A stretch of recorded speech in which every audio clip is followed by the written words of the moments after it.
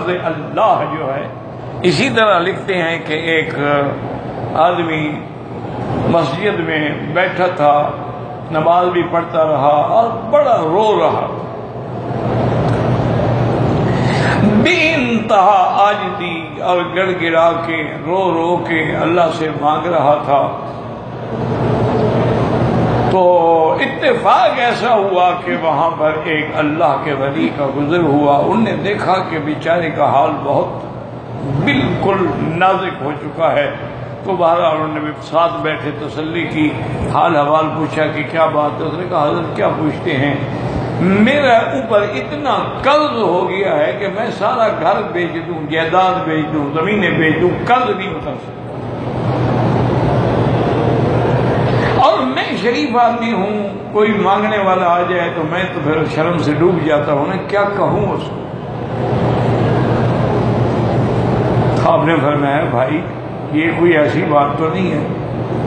میں تمہیں ایک دعا سکھلاتا ہوں۔ اس دعا کو تم روز صبح و شام ہر نماز کے بعد اور خاص طور پہ تہجد کے وقت دو رکعت سلاد الحاجہ پڑھ کے اس دعا کے ساتھ دعا کرو۔ یہ تو مسئلہ ہی کوئی نہیں ہے۔ قرض کا کیا مسئلہ ہے؟ خزائن السماوات والارض کا اللہ مالک ہے۔ تو انہوں نے جو دعا بتلائی نا، وہ کیا تھی کہ یا علی، یا عظیم، یا علیم، یا حلیم اللہ کے نام۔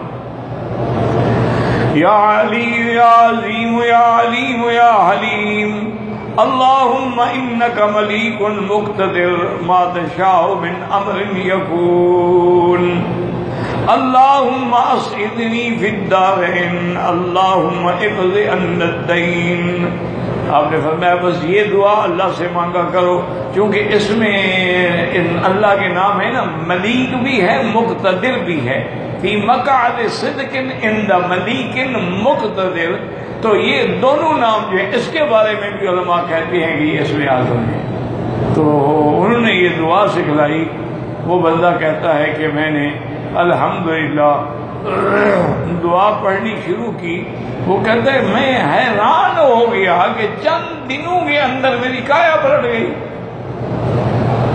میرے کاروبار میں برکتیں آ گئی میری زمین میں برکتیں آ گئی میرے فصلات میں برکتیں آ گئی چند مہینوں کے اندر میرے سارے قرض بھی اتر گئے اور میں تو کروڑوں پتی بن گیا۔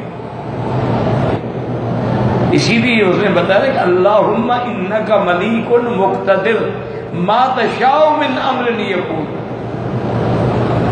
اللہم عصدنا فی الدارین وقل ان الدین